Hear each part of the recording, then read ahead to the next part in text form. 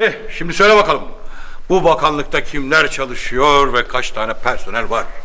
Sayın Bakanım öncelikle siz varsınız bakan sıfatıyla. Ben varım daimi bakanlık müsteşarı sıfatıyla. Cömert var sizin özel kaleminiz sıfatıyla. Bir de naçizane benim özel kalemim var. Daimi bakanlık müsteşarı özel kalemi sıfatıyla. Bir de bana bağlı olarak 9 tane müsteşar muavini, 96 tane müdür, 258 tane müdür muavini var. Toplam 1018 personel. Tüm bunlardan bağımsız olarak da 300 tane ATM personelimiz var efendim. ATM personeli mi? Ay başında toplar maaşını personeli. Yani peki bunlar ne iş yaparlar?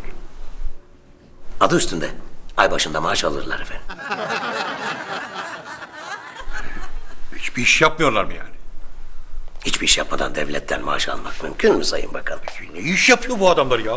Her ay başı ATM'ye gidiyorlar, kartlarını sokuyorlar, şifrelerini giriyorlar, tuşlara basıyorlar.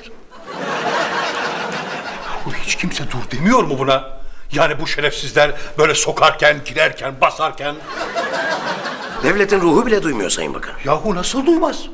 Son 50 yıldır binlerce insan her ayın başında size de aynı şeyi yapsaydı... ...siz de hiçbir şey hissetmezdiniz Sayın Bakan.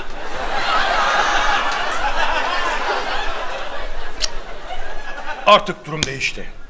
Bundan sonra devlet malı deniz, yemeyen domuz atasözü tarihe karıştı. Artık devletin bir kuruşuna bile halel gelmeyecek.